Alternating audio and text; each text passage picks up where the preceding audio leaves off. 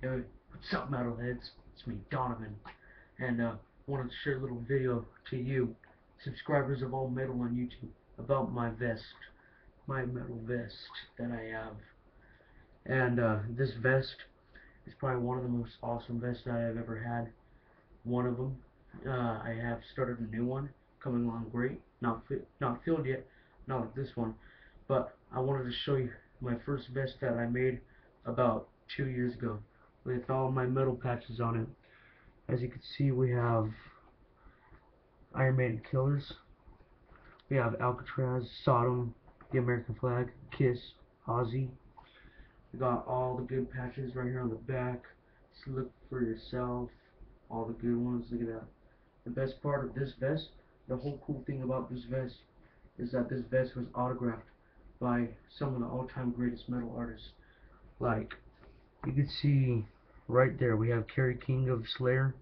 It's pretty awesome.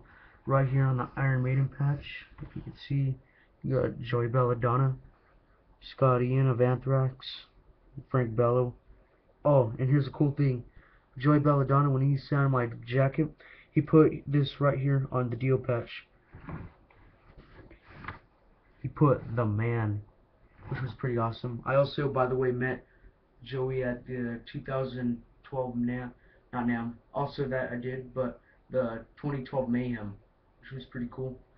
And uh, so, yeah, that's the uh, first vest so far. And uh, for my new vest that I'm working on, we have kind of a better selection and variety of patches. As you can see, it's more filled in the back. We have Testament, Dio, Pantera, Cannibal Corpse, and then we have a big ass Iron Maiden Killers patch.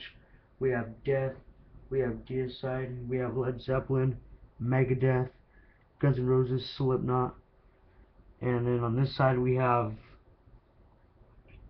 we have Motorhead England, we have Black Sabbath, Anthrax, Slayer, Megadeth, Metallica, Toxic Thrash, Toxic Thrash Metal, and then when I'm and then starting on this side right here we have Venom, Ozzy, King Diamond, System, Overkill, ACDC, and then kind of for the top we have the Doors, we have the American flag patch because we always have to represent for the greatest country ever.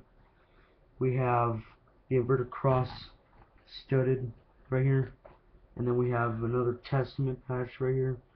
We have Danzig right here, Venom, Welcome to Hell, and of course Cradle of Filth. Some of the good black metal bands too that I do enjoy that are till this day. And uh, that's about it. That's the video. And always remember, stay heavy and subscribe.